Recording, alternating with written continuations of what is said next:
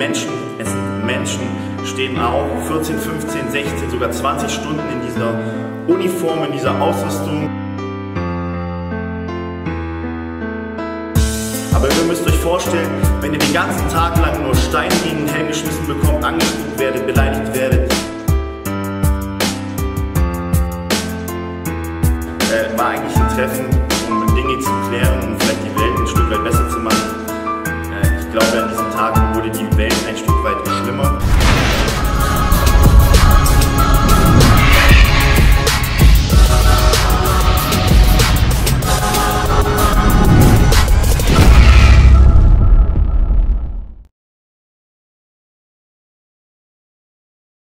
Hallo Leute und willkommen bei Team Smolik. Heute mal mit einem nicht so erfreulichen Thema. Ich weiß, dass momentan sehr, sehr viele YouTuber über dieses Thema sprechen, der G20-Gipfel. Und ich möchte auch keinesfalls auf den Fahnenzug aufspringen, um mir irgendwie Klicks zu erbeuten. Ich glaube einfach, dass ich als Ex-Polizist äh, vieles darüber sagen kann. Einige, die schon länger Abonnenten meines Channels sind, wissen, dass ich mal bei der Polizei war. Ich stande vor über einem Jahr auch genau hier an dieser Stelle, habe äh, verkündet, dass ich die Polizei verlassen werde, um Profisportler zu werden. Und äh, ja, da gibt es sehr, sehr schöne emotionale Szenen davon, wie ich meine Uniform ausziehe, blende ich euch gerade mal ein. Und ähm, ja, deswegen möchte ich gerne darüber sprechen. Es ist jetzt über ein Jahr her. Es hat sich sehr, sehr viel verändert in diesem Jahr und äh, nicht nur bei mir, sondern auch in der Welt. Momentan herrschen überall Kriege, Hass und äh, Zerstörung und das jetzt auch natürlich auch in Deutschland, ihr habt es alle mitbekommen. Sehr, sehr traurige Geschichte. Ähm, viele Leute fangen auch an, die Polizei sehr zu haten und zu sagen, ähm, Polizeigewalt, machen viele Fehler hier und da. Äh, ich muss da wirklich auch einhaken. Ich war selber bei der Polizei, ich war selber auf sehr, sehr vielen Demonstrationen.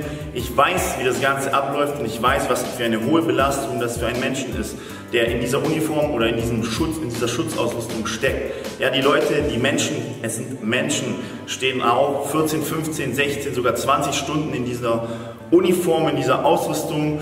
Und ähm, ich weiß noch damals, es war der 1. Mai in Heilbronn. Ich musste mit dieser Ausrüstung zwölf Stunden lang stehen, dir tut der Rücken weh, die Beine weh und ähm, man kann sich wirklich nicht mehr richtig konzentrieren und wenn es dann noch so ausartet, dann ähm, kann es natürlich sein, dass hin und wieder auch mal Fehler passieren. Ich war jetzt nicht vor Ort, ich weiß nicht, ähm, was genau passiert ist, wie sie genau gehandelt haben. Ich habe auch keine sicheren Quellen. Ich kann nur aus eigener Erfahrung sprechen und wenn die Polizei mal Fehler gemacht hat, mein Gott, dann haben sie halt Fehler gemacht, aber es sind halt, wie gesagt, auch nur Menschen. Die sind da, um anderen Menschen zu helfen. Sie sind da, um euch zu helfen.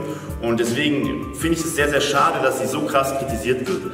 Natürlich ähm, ist das ein oder andere nicht so legitim, was sie machen. Natürlich ist das ein oder andere ein bisschen härter durchgegriffen.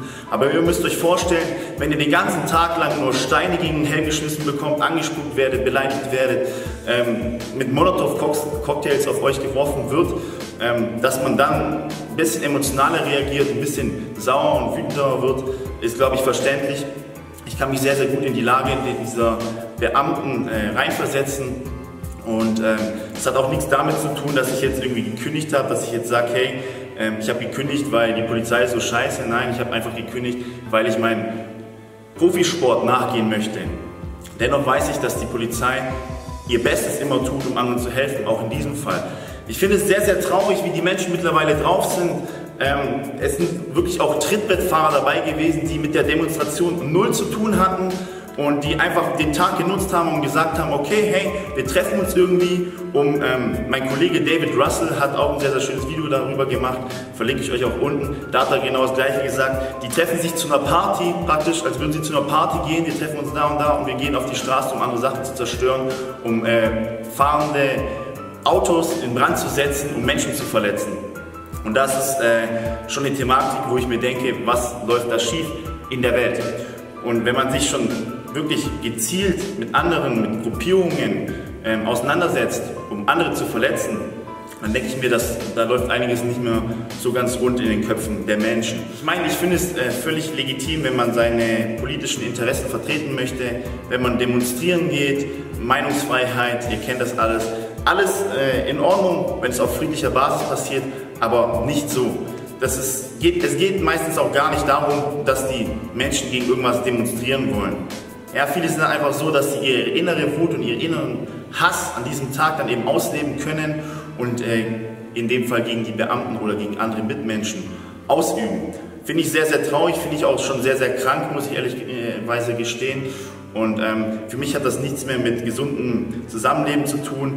Die Werte, die David Russell, die ich oder andere Kampfsportler versuchen zu vermitteln, sind immer Respekt, Liebe, füreinander da sein. Auch wenn ich meine Gegner in dem, im Ring auf die Fresse hau, im Nachhinein bin ich immer Freund von denen und im Nachhinein reiche ich ihnen immer die Hand. Und so ist es auch im äh, Real Life, sage ich mal. Man sollte den anderen Menschen die Hände reichen und nicht irgendwie auf den Boden treten, wenn sie schon auf dem Boden liegen. G20-Gipfel mit Putin, äh, Erdogan, Merkel und Trump äh, war eigentlich ein Treffen, um Dinge zu klären und vielleicht die Welt ein Stück weit besser zu machen.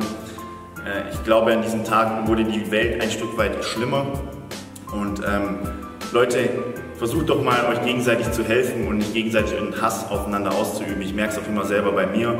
Ich bekomme, je äh, berühmter ich werde, desto mehr Hater bekomme ich. Ich ja, finde es lustig, ich sage immer, Haters make me famous. Ähm, doch ich glaube, im wahren Leben ist es nicht ganz so lustig, wenn äh, mehr Hass ausgeübt wird, vor allem meistens bei Menschen, die eigentlich gar nicht so drauf sind und ähm, das dann wirklich nur tun aus Neid, aus Langeweile teilweise sogar oder aus äh, anderen verschiedenen Gründen.